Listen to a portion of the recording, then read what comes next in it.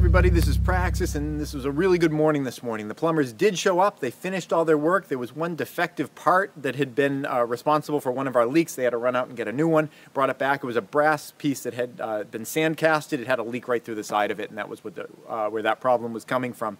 But at this point, the plumbing is done, the electrical done, is done, everything is done to, in terms of uh, us being ready for our final inspection.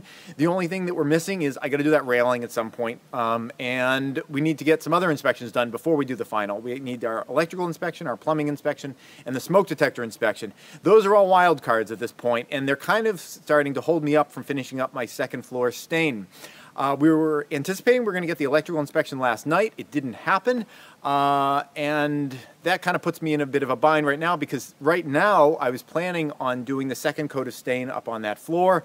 But who knows? Maybe the electrical inspector is going to show up in 10 minutes, maybe tonight. You know, I, I can't have him show up and have the floors wet because that'll either prevent him from walking around up there or he'll walk around anyway and leave tracks through the house. So that kind of sucks that I don't have that information. Uh, but I'm trying to use the time uh, that I uh, have while I wait to get the information and find out when those inspections are coming so I can start scheduling that floor. Because once I do that coat of stain, uh, it, I want to let the whole thing sit for about a week, really good, let it dry out, and then I'm going to put the polycoat stain, uh, I'm sorry, floor seal on there, and then wait another like four or five days, and then that floor will be done. What I'm doing right now is getting firewood. Uh, this is working out pretty well. I'm rolling the tarp back. It's been on here for a couple of months. I'm chopping things as I go into the pile, uh, and also this kind of stuff. There's a lot of, uh, you know, this pine needle, uh, you know, duff stuff and I'm kind of collecting that, throwing that in the bin, and this uh, stuff is getting thrown up on the well line to help insulate it. So getting firewood, insulating the well line,